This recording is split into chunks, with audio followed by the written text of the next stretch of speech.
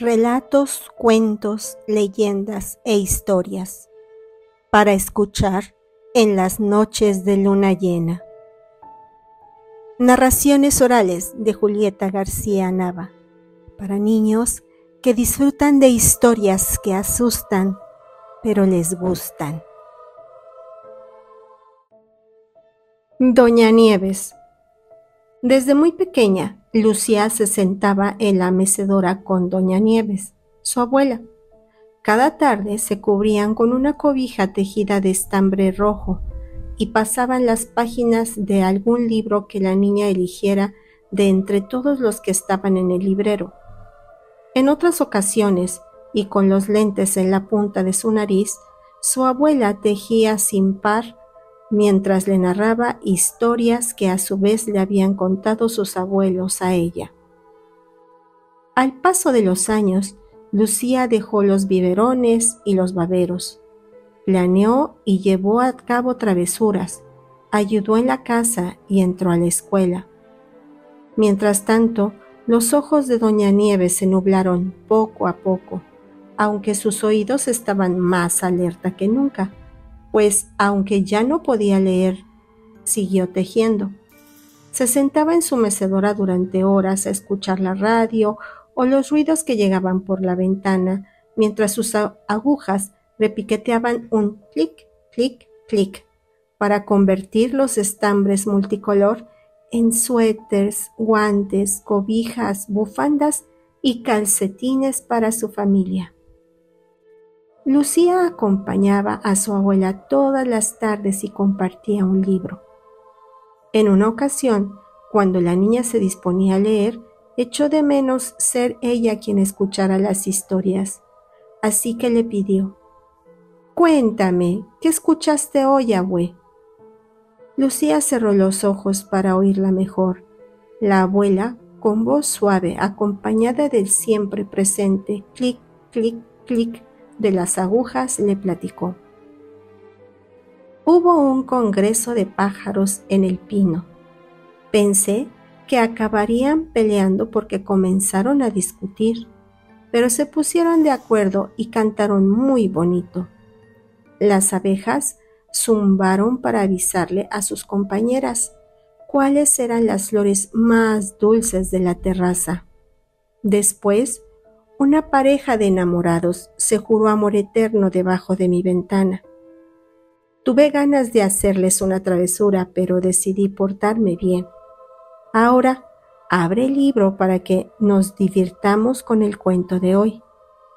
Lucía empezó a leer.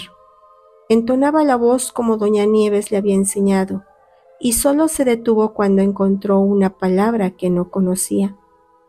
En casos así, la deletreaba y su abuela le corregía la pronunciación. Cuando terminó, Lucía cerró el libro y se dirigió a Doña Nieves. Mañana leeré el último cuento y luego escogeremos otro libro, abue. Qué orgullosa estoy de ti, Lucía. Lees muy bien. Yo extraño hacerlo. Por suerte, ahora que tú me cuentas esas historias, podemos seguir disfrutándolas juntas. La tarde siguiente, Lucía llegó corriendo al cuarto de su abuela. Estaba lista para leer el último cuento del libro.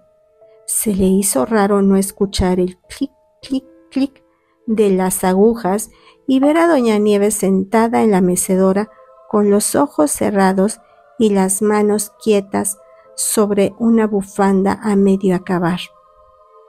El corazón comenzó a latirle acelerado Mientras se acercaba lentamente, se dio cuenta de que la abuela había muerto.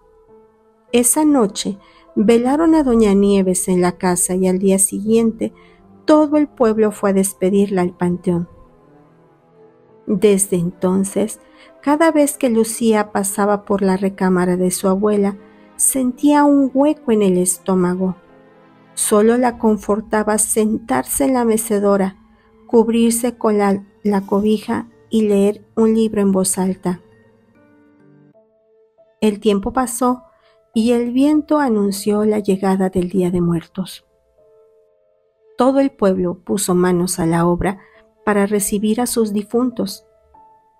A la casa de Lucía arribaron sus tías y sus primas y prepararon montones de tamales y litros de atole para las visitas que vendrían a conocer la Quetzitacua, el altar en honor a su abuela, pues había muerto durante ese año.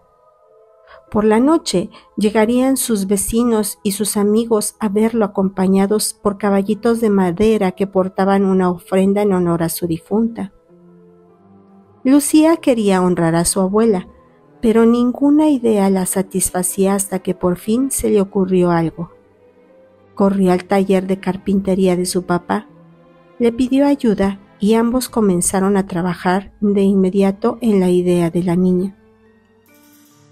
Cuando estuvo listo, Lucía cargó y llevó al cuarto de su abuela ese regalo especial. Las visitas tronaron un cohete para anunciar el arribo y entraron al patio cargando los caballitos de madera, cuyos lomos repletos de flores y hortalizas y frutas, velas y panes fueron colocados cerca del altar de Doña Nieves. Poco después, a la luz de las velas, repartieron los tamales y el atole. Lucía fue la última en llegar cargando el caballito que había hecho para su abuela. Portaba sus lentes, flores de cempasúchil que cubrían su lomo y cuello anidados entre ellas. Yacía el último libro que había leído junto a ella. Ahí estaban también sus agujas de tejer con media bufanda y una bola de estambre. Qué bonita manera de honrar a mi mamá, dijo su papá y la abrazó. Aún hoy en día, Lucía escucha el clic, clic, clic de las agujas. No se asusta, pues sabe que es su abuela Nieves quien ha venido a visitarla. La Quetzitacua. Guanajo, Michoacán, es un pueblo de artesanos carpinteros.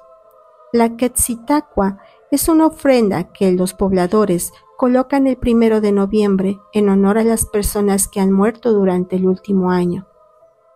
En purépecha, Quetzitacua quiere decir poner algo en la mesa. Por eso el altar que colocan en el piso de una habitación es específica en la casa del fallecido. Se adorna con flores de cempasúchil, velas, papel picado, copal, pan con forma humana y un petate que simboliza la tierra. Para que el alma llegue a su ofrenda, se traza un camino de pétalos de cempasúchil que inician en la puerta de la casa y terminan en el altar. La noche del primero de noviembre, amigos y familiares arriban a la casa del difunto, anuncian su llegada tronando cohetes y ofrendan un caballito hecho de madera, del que generalmente cuelgan alimentos. Se cree que el alma, al volver del inframundo, monta el lomo del caballito y se lleva la esencia de lo ofrendado por sus familiares.